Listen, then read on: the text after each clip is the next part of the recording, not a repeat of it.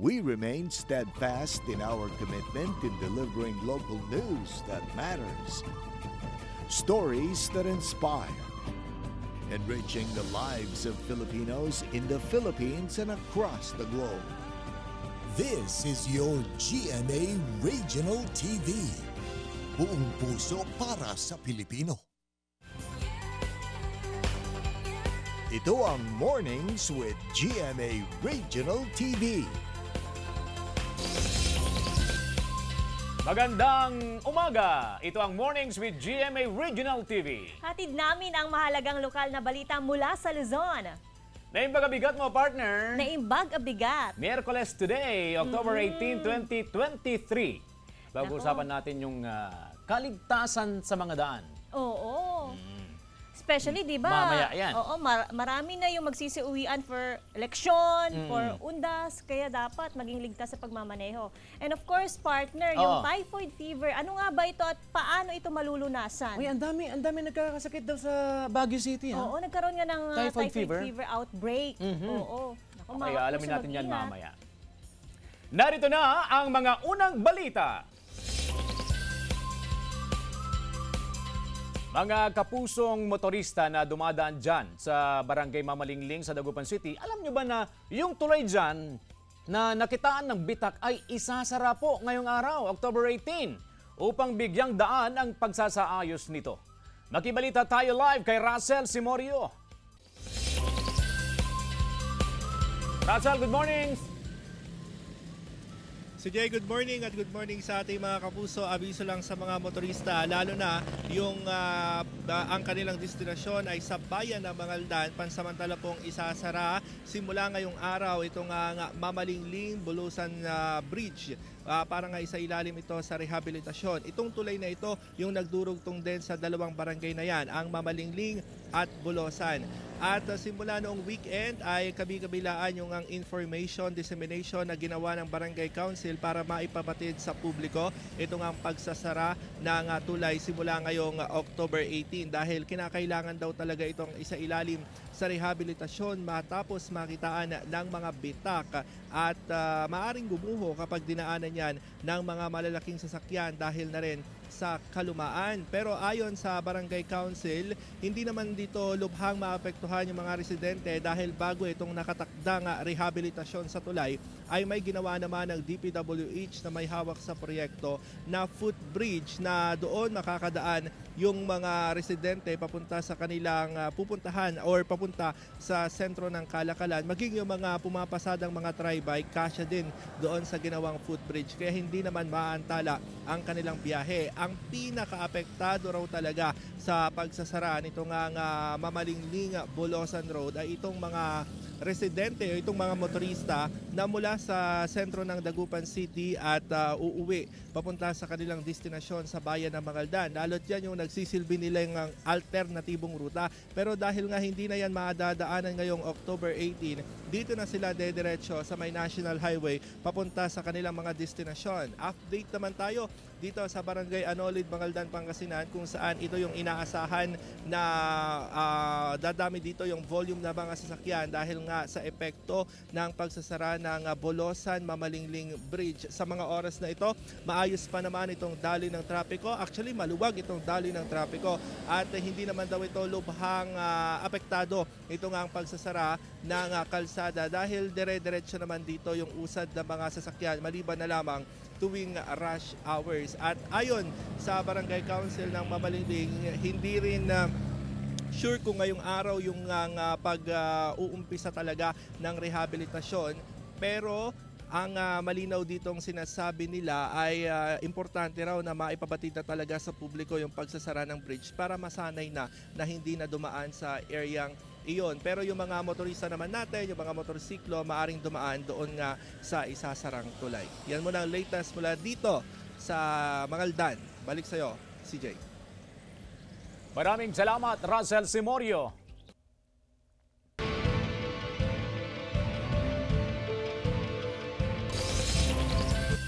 Nagsagawa ang PNP at COMELEC sa Pangasinan ng Multi-Sectoral Peace Assembly para sa ligtas at mapayapang barangay at sangguniang kabataan elections 2023.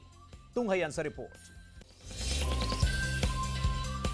Pinangunahan PNP at COMELEC ang Multisectoral Peace Assembly na isinagawa sa Lingayen, Pangasinan. Dito tinalakay ang kahalagahan ng pagkakaisa para sa ligtas at mapayapang barangay at Sangguniang Kabataan Elections 2023. Nagkaroon ng signing of Statement of Commitment. Kasama rin ng PNP at COMELEC ang DILG, Philippine Army, NAPOLCOM, DepEd, BFP, Coast Guard, PPCRV, religious community at mga miyembro ng media na may malaking ambag sa pagbabahagi ng tamang impormasyon kaugnay sa BSKE 2023. Nagpalipad din ng mga puting kalapati na simbolo ng malayang pagboto ng bawat Pilipino at kapit bisig bilang pagkakaisa. Mula sa tatlo, apat ng barangay sa Pangasinan ang kabilang sa areas of concern. Ibig sabihin, may intense political rivalry. Mulang mga ito sa mga taram, San Quintin, Burgos at Malasiki. Sa kabuuan, nasa 61 barangay sa Region 1 ang kabilang sa areas of concern o yellow category. everyday yung assessment natin, pwedeng madagdagan, pwedeng mab-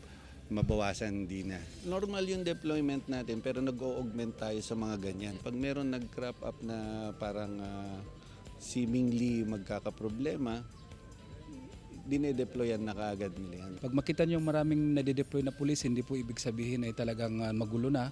But then we're just ah, preventing kung may mga lalo na yung mga may ah, intense political rivalry. Samantala, may kabuang 57,746 na kandidato ang Pangasinan. Ayon sa COMELEC, pangalawa ang probinsya sa may pinakamaraming kandidato sa buong bansa ngayong BSKE 2023. it's always a challenge. Of course, ang Pangasinan is Pangasinan yan. Always a challenge pero yun nga, through coordination ng mga ganitong activities, napakalaki ng tulong. Lalo na yung mga counterpart ko sa uniform personnel kasi sila yung talagang pinipigahan natin pag ganitong election, peace and order. John Punsoy para sa Mornings with GMA Regional TV. Ilang OFW sa Israel na tubong Pangasinan ayaw pang umuwi ng bansa sa gitna ng tumitinding gyera. Naritong report.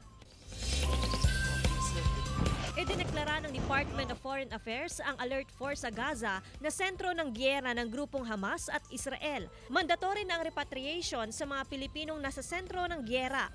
Sa kabila nito, ilang OFW sa Israel ang piniling wag na munang umalis sa bansa, lalo na ang mga nakatira malayo sa mismong lugar ng gyera. Ang pamilya ko po ay nag-aalala sa akin, ah, patu- ah, nag, nagpapadala ng mga mensahe kung gusto ko na daw umuwi. Eh, kaso nga po, eh, wala pa po akong planong umuwi. Hindi po namin kasi alam kung ano pa po yung madadat na naming trabaho sa Pinas. Siyempre yung takot ko din po kasi first time ko pong makaranas ng mga ganitong bombahan ganyan. At sa awa naman po ng Diyos, eh, nilalayo pa po yung area po namin sa mga bomba-bomba. Pero nung mga nakarang araw po, nag-siren na po talaga dito. May kamag-anak sa Israel ang Pangasinensing si Grace, hindi tunay na pangalan. Bagamat malayo naman daw ang kanyang kaanak sa lugar kung saan may gulo, nangangamba pa rin daw siya sa kanyang kaligtasan. Nangangamba rin po sa kaligtasan niya kasi mayroon din po siyang pamilya na ano nag-aalala sa kanya po. Kasalukuyan ang tracking ng Migrant Desk ng Pangasinan Public Employment Services Office sa 4,200 Pangasinensing OFW sa Israel. Nakikipag-ugnayan ang peso sa OWA para makumusta ang kanilang kalagayan. Samantala, problema ng mga OFW kung magiging legal ba ang pag-alis nila sa bansang Israel kahit hindi pa tapos ang kanilang kontrata sa trabaho. Karamihan po kasi ng tanong ng mga OFWs doon, eh kung makakasuhan lang ba sila ng abandonment kung sakaling umalis sila sa kanilang employer.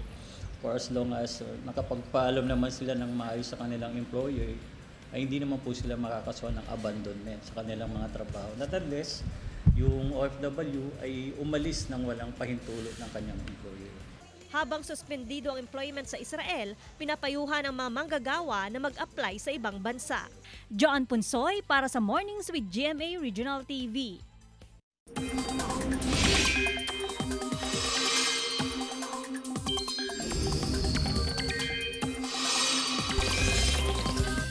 Mga kapuso sa Northern Luzon, maghanda po tayo dahil uulanin ngayong araw ang ating lugar. Ayon sa pag-asa, tutukan sa report. Mga kapuso, uulanin muli ang Northern Luzon ngayong araw. Ngayong umaga, asahan ng pag-ulan sa ilang bahagi ng Cagayan Valley Region, Cordillera, Ilocos Sur at Aurora base sa rainfall forecast ng Metro Weather. Uulanin na ay bapang panig ng Northern at Central Luzon pagsapit ng hapon. Maging alerto sa heavy rains na maaaring magdulot ng baha o landslide. Ayon sa pag-asa, northeasterly surface wind flow ang magpapaulan ngayon sa northern Luzon habang mga local thunderstorms naman sa nalalabing bahagi ng bansa. Chris Oniga para sa Mornings with GMA Regional TV. Walong establishmento sa Ilocos Norte na bistong nagbebenta ng substandard na construction materials. Sundan sa ulat ni Gab De Luna. Sa inspeksyon ng Department of Trade and Industry, walong construction supply establishments sa Ilocos Norte ang nabistong nagbebenta ng substandard construction materials. 94 rolls ng steel wires na ang nakumpiska mula sa 601 rolls ng steel wire na planong kumpiskahin ng DTI. Sa kabuuan, nagkakahalaga ito ng mahigit 670,000 pesos. yung mga uh, manufactured in the Philippines, eh dapat meron po yan na PS mark. At kung mga imported naman ito, ay may meron dapat yung Import Commodity Clearance Certificate tsaka yung ICC sticker. So nakita namin na itong mga kinonfiscate namin ay wala pong ganon.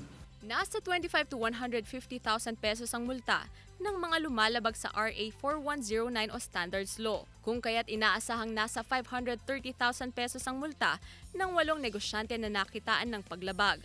Inaalam pa ng DTI kung paano i-dispose ng maayos ang mga nakumpiska, kung kaya't pinutol ang rolyo-rolyong steel wire at kasalukuyang nasa kustodiya ng DTI. Sinisikap ng GMA Regional TV 1 North Central Luzon na kuhanan ng pahayag ang mga lumabag na negosyante. Ah, so nakita nakita namin na yung mga steel wires na ito ay mga substandard.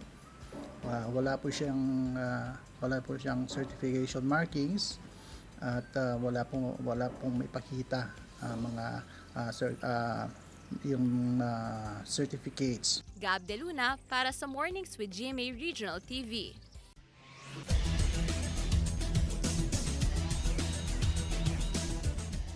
Offensive rebounds ng San Beda Red Lions naging susi sa panalo kontra Perpetual Altas. Tunghayan sa report. Humugot ng 17 rebounds at kumamada pa ng 12 points ang rookie na si Jomel Puno upang pangunahan ng comeback win ng San Beda Red Lions kontra Perpetual Altas. Git-gita ng laro hanggang sa makapagpawala ng back-to-back 3 points shots si Jun Roque upang lumamang ang Altas. Sa pagtatapos ng halftime, naiposte ng Altas ang double-digit advantage kontra sa San Beda Red Lions. Pero sa fourth quarter, ang huling offensive rebound ni Puno ay nagresulta sa dalawang huling dalawang puntos ng Red Lions upang maiselyo ang panalo 62-60. Sa Game 2, maagang nag-init si AJ Miranda ng JRU Heavy Bombers para lumamang sila ng walong puntos kontra sa LPU Pirates. Maraming fast break points ang JRU kaya nahirapan ng LPU. Dahil pa rin kila Umali at Barba humabol ang LPU at sa unbelievable putback ni Enoch Valdez na may kasamang foul, na puwersa nila ang overtime, 71 all. Pero dahil ayaw magpaawat ng dalawang kupunan, umabot pa ito sa second overtime. Muntik nang masilat ng LPU ang panalo pero dalawang beses silang nagmintis kaya wagi ang JRU sa score na 88-87. Abangan ang next games, Arellano Chiefs laban sa Mapua Cardinals at San Sebastian Stags kontra Letran Knights, 2pm, live sa GTV. Chris Oniga para sa Mornings with GMA Regional TV. Road Safety 101 tatalakayin na sa pagbabalik ng Mornings with GMA Regional TV. Ito ang Mornings with GMA Regional TV.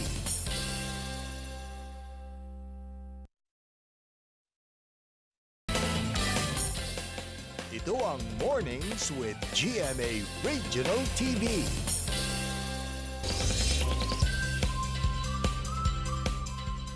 Mga kapuso, magkakausap natin ang uh, tinaguriang kilabot ng mga motorista. Dahil malayo pa lang, talagang napapahinto na sila na kung minsan ay nagiging sanhi pa ng aksidente kapag uh, nakakita tayo ng HPD sa kakalsadahan. Pero sa mga kapwa motorista, sa halip na iwasan, bakit hindi na lang tayo makipagtulungan para din sa ating sariling kaligtasan? Para sa Road Safety 101, makakasama natin si Police Captain Ricardo Doria, ang Deputy Chief ng HPG Pangasinan. Welcome to Mornings with GMA Regional TV, Captain. Yes, sir. Good morning, sir. Okay. Eh, sabi nga nila, ang HPG, Sila yung nagpapatibok sa puso ng mga motorista. Anong masasabi nyo yun?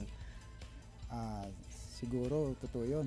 Oo, eh, Kasi- motorista rin ako. Kaya Oo. Talagang tumitibok yung puso ko ngayon eh. Eh kung Ah. iba yung pagtibok nila, matatakot. Kaya ngayon pa lang, ngayon pa lang, kahit wala akong violation, binibigay ko na yung lisensya ko sa inyo. Ayan. valid naman po yan. Okay, valid, valid naman. naman. Okay.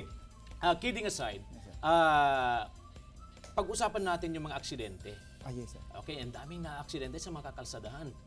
Ano ba kadalasan yung ah, dahilan o rason ng mga aksidente sa mga kakalsadahan, ah, Captain Lee? Yes, sir. Ah, Actually, sir, ang kadalasan na nangyayari sa daan yung aksidente, overspeeding.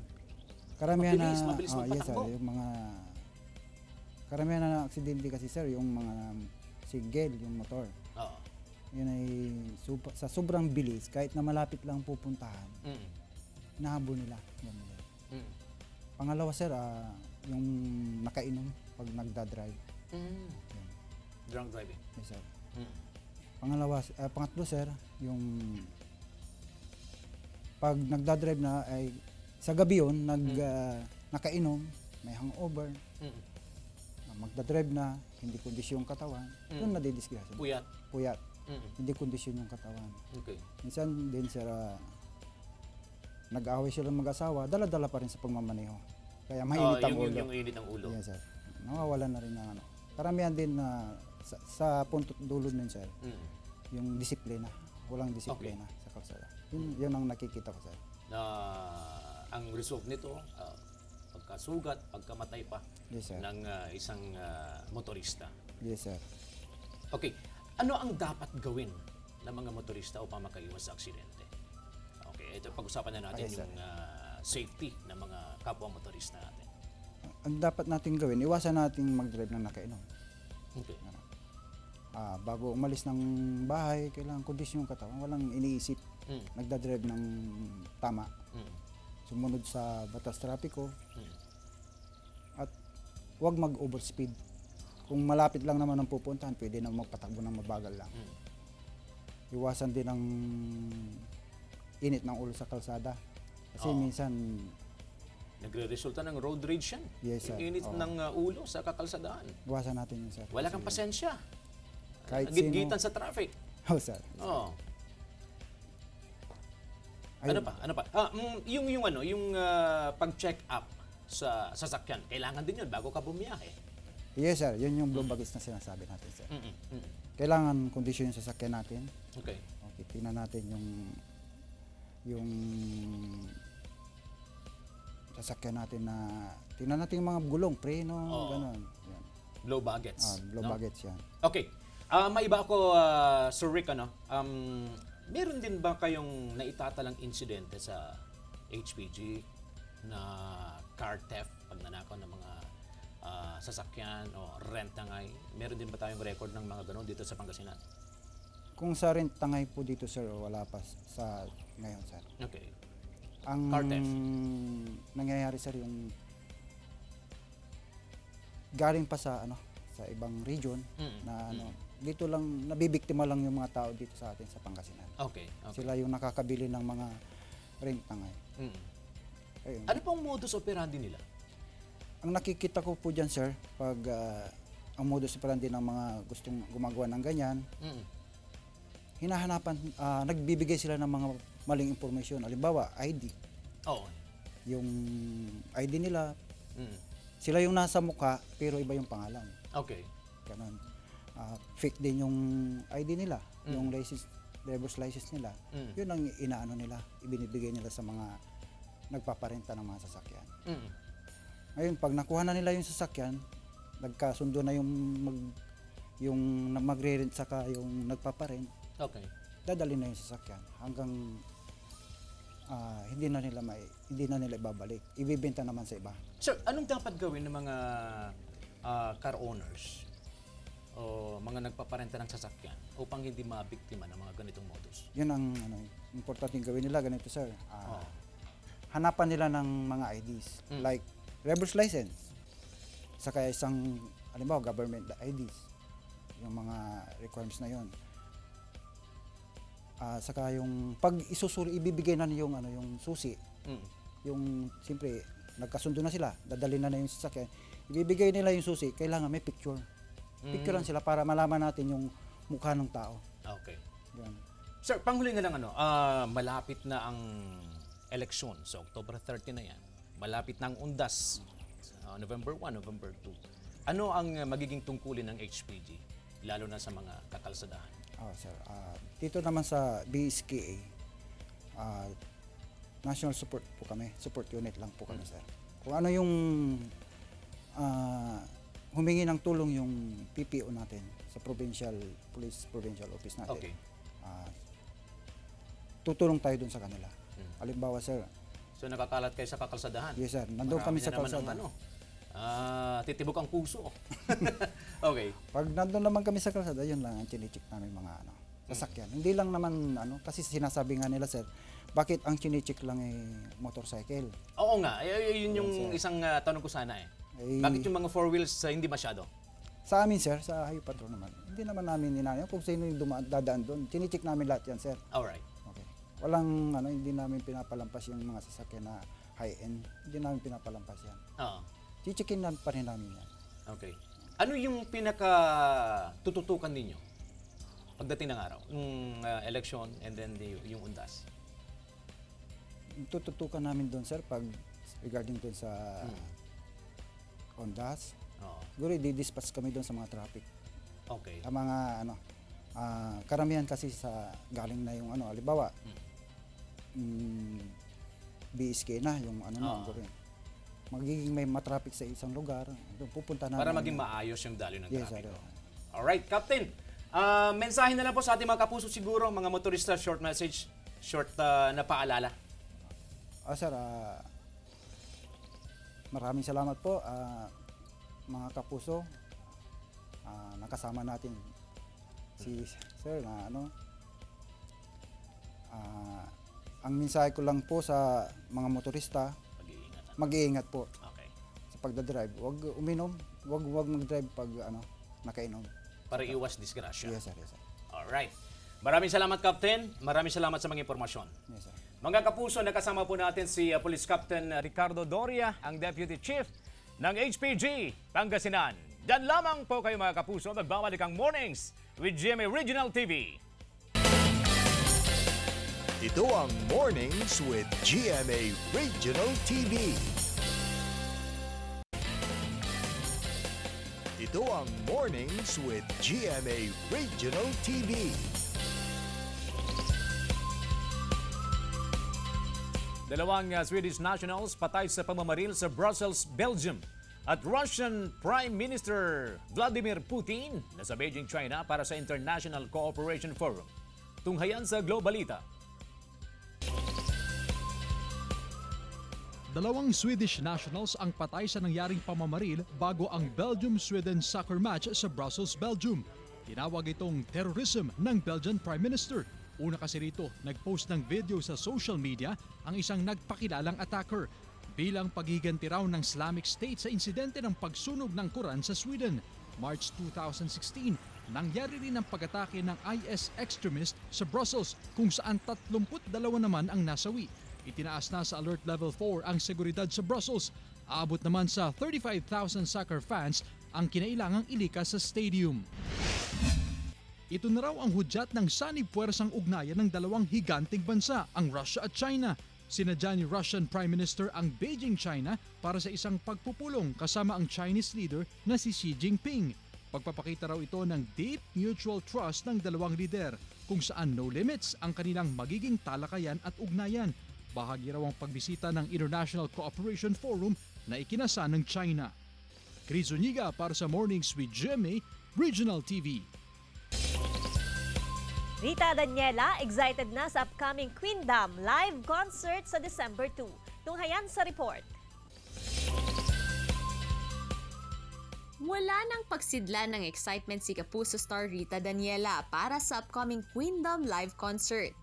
Katunayan, looking forward na raw siya sa kanilang rehearsal, kasama ang iba pang Kapuso stars na sila Jessica Villarubin, Thea Astley, Marian Osabel, Hannah Presillas at Asia's Limitless star Julie Ann San Jose. Sigurado raw magiging epic ang Queendom Live dahil sa pambihirang pagkakataon ay magsasama-sama ang mga pinakatalentadong singers ng kanilang henerasyon. Available na ang tickets sa Ticket World at GMA Synergy website.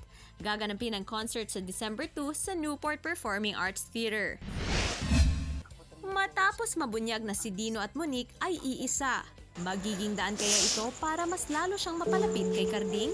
At dahil sa revelasyon sa pagkataon ni Dino, dito na kaya maliliwanagan si Carding at aamin sa sarili na may namumuo siyang pagtingin kay Dino. Pero hudyat din kaya ito para mahanap si Monique ng mga taong nagtatangka sa kanyang buhay, gaya ng grupo ni Boss Frank. Sundan ang mga maksyong eksena sa Maging Sino Ka Man, 8pm pagkatapos ng 24 oras. Gab De Luna para sa Mornings with Jamie Regional TV. Problema ng lokal na pamahalaan ng Kalasyaw, Pangasinan ang patuloy na pagtatapon ng basura ng ilang dayo sa bayan. Tila batid daw ng mga dayo ang schedule at maging ang mga lugar kung saan kinukolekta ang mga basura. Kadalasan daw, tricycle ang nagdadala ng sako-sakong basura at itinatapon sa gilid ng palengke. Pero aminado ang Menro na pahirapan ang paghuli sa mga ilegal na nagtatapon sa kabila ng pagkakaroon ng CCTV camera. Hiling ng Menro sa mga residente na maging responsable sa waste disposal. Sa pambihirang pagkakataon, magkakaroon ng 23rd Bamboo Training o Seminar na may temang Learn and Earn from Bamboo Experts. Gaganapin ito sa October 21, 2023, Sabado sa Sitio Tanza 2, Barangay San Jose, Antipolo City. Magsisimula ang training mula 8 a.m. hanggang 5 p.m. Ilan sa pag-uusapan ang proseso at teknik sa pagtatanim, landing program at iba pang impormasyon na makatutulong sa inyong mga bamboo entrepreneur. Sa mga interesado, pwedeng makipag-ugnayan sa email at contact numbers ng organizer ng 23rd Bamboo Training Seminar.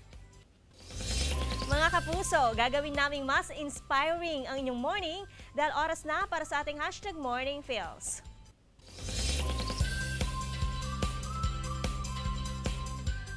A person has to remember that the road to success is always under construction. You have to get that through your head that it is not easy becoming successful. By Steve Harvey. Mga kapuso, 68 days na lang, Pasko na! Maraming salamat mga kapuso sa pagtutok sa Mornings with GMA Regional TV. Samahan niyo kami mula lunes hanggang biyernes. Ako po si Joan Punsoy.